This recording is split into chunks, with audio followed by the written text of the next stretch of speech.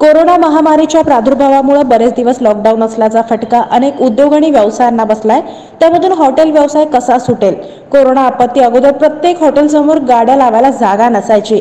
मात्र आता कोरोनाचा प्रादुर्भाव होऊ नये म्हणून ग्राहकांनी जेवण आणि नाश्ता यावरच स्वतः बंधनं घातल्यानं हॉटेलमधील ग्राहकांची संख्या मात्र कमालीची घटली आहे त्यामुळे हॉटेल व्यवसायाला उतरती कळा लागल्यानं या व्यवसायावर अवलंबून असणाऱ्या अनेक तरुणांपुढे जीवन मरणाचा प्रश्न आता उभा ठाकलाय.